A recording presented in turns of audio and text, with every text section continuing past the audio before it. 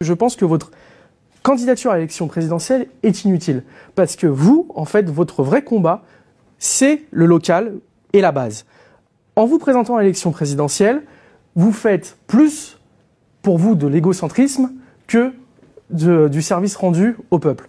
Donc en réalité, moi ce que j'ai envie de vous dire, lâchez cette, euh, cette candidature et mettez-vous au service de ceux qui ont le plus besoin de vous, c'est les élus locaux. Et comme vous l'avez dit, 80% des élus locaux, ce sont des gens qui ne sont pas payés. Et je pense que vous êtes plus utile auprès des élus locaux, auprès de la base, auprès de cette France des banlieues, de cette France rurale, plutôt que de faire une petite élection présidentielle pour son, pour son propre ego. Alors je me suis posé ces questions-là en, en toute honnêteté. Vous allez finir copain, c'est super. Non, pas du tout. Euh, euh, mais je me suis posé véritablement ces questions.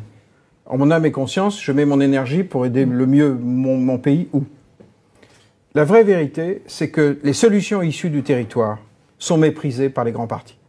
Pourquoi, vous qui êtes un mouvement collectif, il y a 577 circonscriptions, ça, au moment des élections législatives, on peut parler projet et pas être dans la pas être dans une personnalité. Et ensuite, après, peut-être de préparer les élections municipales qui sont en réalité celles de 2020, euh, la vraie échéance locale pour votre mouvement et vous peut-être on ne changera pas de système euh, par les municipales. On ne changera pas de système par les municipales. L'hyper-décentralisation que, que nous voulons est un changement de méthode profond qui ne peut être opéré que par la campagne présidentielle. Si le mouvement Les Citoyens réussit à rassembler un pourcentage conséquent, important, de citoyens qui sont décidés à devenir des citoyens et non plus des sujets. Si nous réussissons ça, notre capacité à négocier ça, à imposer ça à des candidats issus du système centralisé sera énorme. Énorme. Donc, il n'est pas vrai que uniquement par des démarches locales, on peut changer le cœur d'un système centralisé. Ça n'est pas vrai. Maintenant, me faire dire que je n'ai pas l'amour profond de l'action locale, évidemment que non. Évidemment que je respecte ça, au plus haut point. Mais nous avons clairement un problème de système.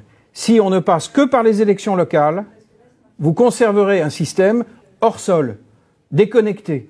Vous, conserverez des cabinets.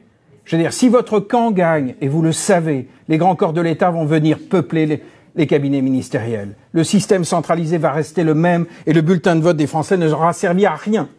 Parce qu'en réalité, ce pouvoir de la haute administration au cœur de l'État central est colossal.